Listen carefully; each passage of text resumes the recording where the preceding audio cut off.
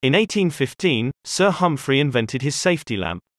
This was a light used by men working in coal mines. Providing lighting in the mines was difficult because they contained gases that exploded when they came into contact with a flame. Sir Humphry designed his lamp so that the flame was inside and could not mix with the dangerous gases.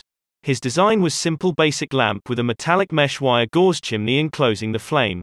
While the holes allowed air to fuel the flame and the light produced to pass through, the heat was absorbed by the metal of the gauze.